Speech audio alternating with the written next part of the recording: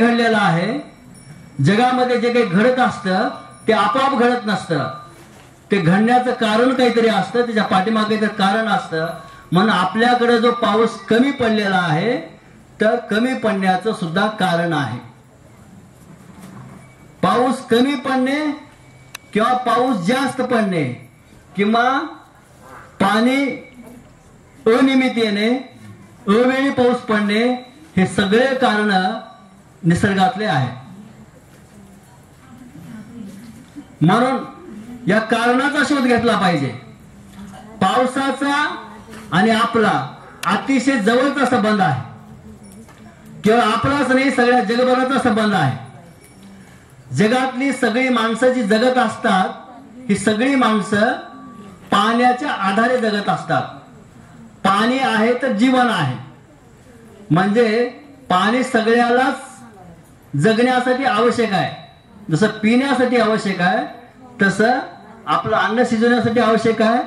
जे अन्न आपण खातो ते अन्न तयार होण्यासाठी सुद्धा पाणी लागतं. म्हणजे जगामध्ये पाणी असल्याशिवाय माणूस जगू शकत नाही. पण पाणी कमी पडलं किंवा पाणी जास्त झालं तर त्याचा सर्वात मोठा परिणाम हा गावावर होत असतो. जी माणसं शेतीवर जगणारी आहेत शेती करणारी आहेत तर त्या माणसावर जास्त परिणाम होत असतो. म्हणून यावर्षी आपल्याकडे जो पाऊस कमी पडलेला आहे याचा परिणाम आपल्यावर जास्त झालेला आहे. शेतकरी माणसावर गावातल्या माणसावर जास्त परिणाम झालेला आहे. काय झालेला आहे? म्हणजे आपल्याला माहीत आहे उत्पन्न उत्पादन घटलेलं आहे. म्हणून उत्पन्न घटलेलं आहे. आणि उत्पन्न घटलेलं आहे म्हणून आपल्याकडे आता हातामध्ये पैसा नाहीये. किंवा पुरेसा अन्नधान्य सुद्धा शिल्लक नाहीये. आणि ही परिस्थिती का आली? हे पण समजून घेणं आवश्यक आहे. हा कार्यक्रम इतर कार्यक्रमापेक्षा वेगळा कार्यक्रम आहे.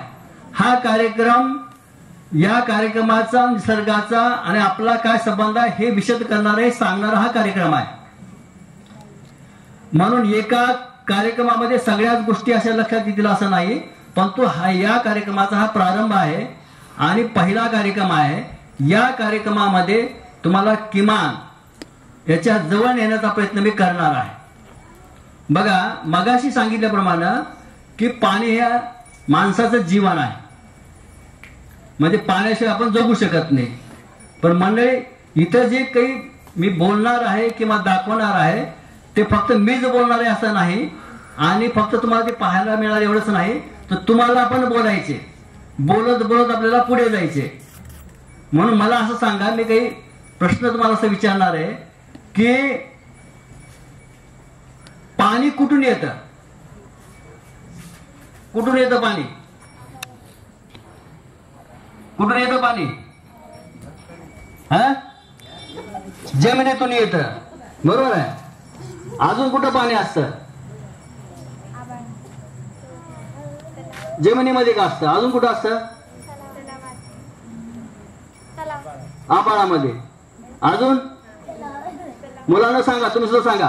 पाणी कुठं असतं रे? पाणी कुठं असतं? हा? कुठे? तलावात. तलावात कुठून येत? वाफ झाली की वर जात. पण येतं कुठून? आभाळातून. म्हणजे पावसाचं. म्हणजे तलावातलं पाणी हे पावसाचं असतं. नदीचं पाणी पावसाचं असतं. समुद्राचं पाणी पावसाचं असतं. आणि जमिनीमध्ये जे पाणी आहे ते कुठलं असतं? जमिनीतलं पाणी कुठलं असतं? हा? पावसाचं असतं. म्हणजे जगामध्ये जितकं पाणी उपलब्ध आहे किंवा असतं या पाण्याची मुख्य जागा पाऊस आहे. जसं उष्णतेची मुख्य जागा सूर्य आहे. सूर्य जर समजा उगवला नाही सूर्य जर आपला दिसला नाही तर जगामध्ये उष्णता शिल्लक राहणार नाही. आणि उष्णता शिल्लक नसेल तर माणूस जगू शकणार नाही. तसंच पावसाचं मुख्य पाण्याचं मुख्य ठिकाण पाऊस आहे. म्हणजे पाण्यासाठी तुझा पर्याय नाही. बाकी सर्व गोष्टीसाठी पर्याय करता येईल. पण पाण्यासाठी पाणीच पर्याय आहे. पाण्याशिवाय तुझा पर्याय नाही. मग मुख्य ठिकाण काय आहे? पाऊस आहे. आपल्या तलावात का पाणी कमी असणं किंवा जास्त असणं पावसावर अवलंबून आहे नदीवर पाणी नदीला पाणी जास्त असणं किंवा कमी असणं हे पावसावर अवलंबून आहे तळ्यामध्ये पाणी कमी असणे किंवा जास्त असणं पा पावसावर अवलंबून आहे आणि जमिनीमध्ये सुद्धा पाणी कमी असणे किंवा जास्त असणे पावसावर अवलंबून आहे जमिनीमध्ये जे पाणी असतं ते पडलेल्या पावसाचं पाणी जमिनीमध्ये मुरत असतं. आणि जे मुरलेलं पाणी असतं तेच पाणी आपण जमिनीतून काढून वापरत असतो. आता हे जे पाणी मुरत असतं जमिनीमध्ये पूर्वी हे पावसाचं पाणी मुरण्याचं प्रमाण जास्त होतं. अलीकडच्या काळात ते कमी झालेलं आहे. अलीकडच्या काळामध्ये कमी झालंय आणि अलीकडच्या काळामध्ये उपसा जास्त झाला. बघा उपसा दोन पद्धतीने जास्त झाला. एक तर म्हणजे कारखान्यासाठी उपसा चालू झाला जमिनीतल्या शेतासाठी उपसा सुरू झाला आणि माणसाला जगण्यासाठी उपसा सुरू झाला. आपल्या गावची लोकसंख्या गेल्या तीस चाळीस पन्नास वर्षापूर्वी जी होती त्याच्यापेक्षा आता नक्कीच दुप्पट झाली असं म्हणजे दुप्पट अन्न लागू लागलं दुप्पट पाणी लागू लागलं दुप्पट हवा लागू लागली. सगळ्याच प्रकारची साधनं आहेत ती आपल्याला दुप्पट लागू लागली. म्हणजे या पृथ्वीवर हे सगळंच वाढत गेलेलं आहे. किंवा आपल्याच भागात वाढत चौकड वाढलेलं आहे. तर पावसावर हे सर्व अवलंबून आहे आपलं जीवन. आता पाऊस अनियमित का झाला. वेळेवर का पडत नाही? बघा उदाहरण तुम्हाला सांगतो की जून मध्ये मृगाला पाऊस सुरू व्हायचा मृगाच्या प्रेरणा सुरू व्हायच्या आणि साधारणतः चार महिन्यामध्ये म्हणजे सप्टेंबर पर्यंत आपलं पीक आपल्या हाती यायचं. कधीतरी पाऊस जास्त व्हायचा कधीतरी थोडासा कमी व्हायचा परंतु दुष्काळी परिस्थिती फार यायची नाही. पण अलीकडच्या काळामध्ये बदल झालेला आहे. आता जूनमध्ये पाऊस येत नाही. आला तर फार कमी येतो. आणि जूनच्या मध्यापासून किंवा जूनच्या शेवटी किंवा जुलैमध्ये पाऊस सुरू व्हायला लागलाय पूर्वी सप्टेंबरपर्यंतच पाऊस पडायचा. आता एक महिना पुढे गेलेला आहे. ऑक्टोबर पर्यंत गेलेला आहे. हे मुलांनो शांत. तर असं का घडलंय? असं घडायचं कारण आहे मी थोडक्यात तुम्हाला सांगणार आहे की जगाचं तापमान वाढलेलं आहे. तापमान म्हणजे उष्णतामान ऊन सोप्या भाषा सांगायचं म्हणजे ऊन वाढलेलं आहे. पूर्वी जे होतं त्याच्या प्रमाणात जास्त वाढलेलं आहे. आपल्याकडे सुद्धा जे पूर्वी ऊन होतं त्याच्यापेक्षा वाढलेलं आहे.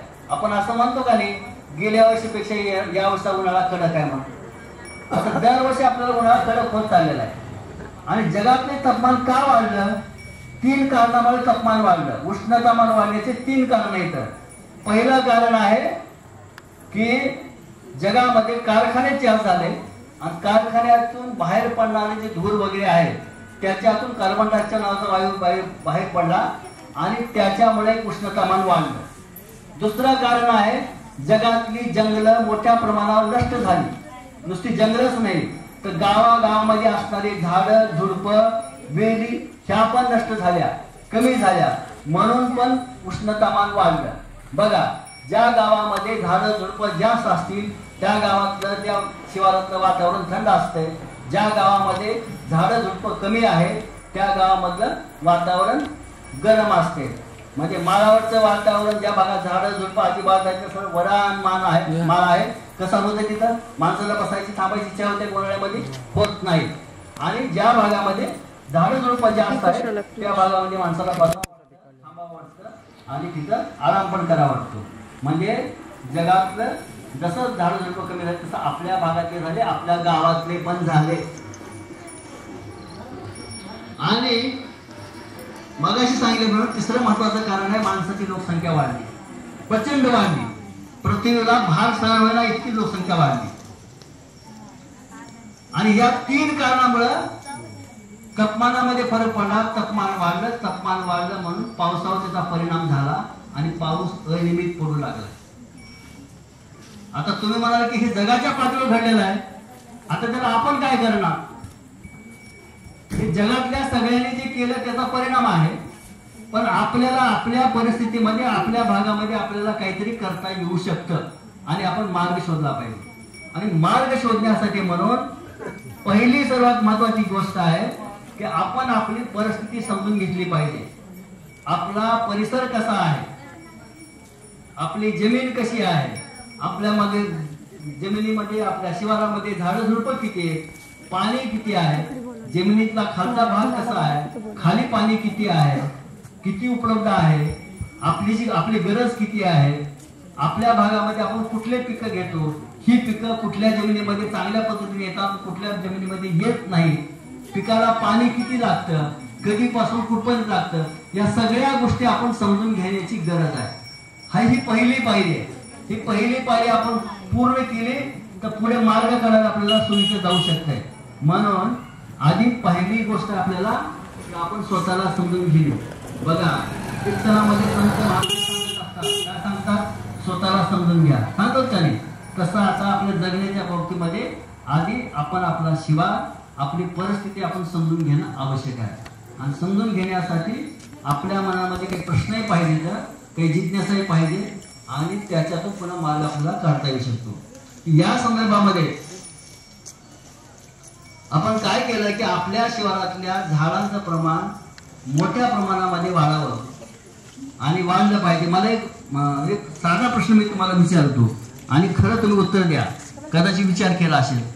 कुठल्याही शिवारामध्ये झाड किती असावेत हो?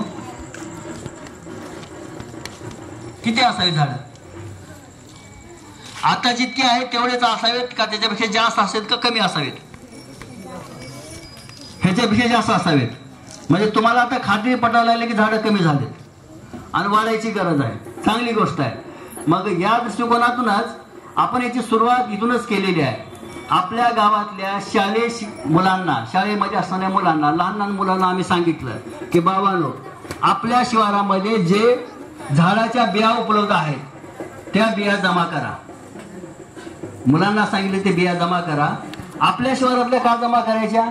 की आपल्या शहरातल्या बिया आपण परत लावल्या तर आपल्या भागातल्या असल्यामुळं ते सहज वापतील झाडं चांगले बनतील. बाहेरचं बियाणं आणून तेवढं जास्त या वातावरणामध्ये टिकत नाही.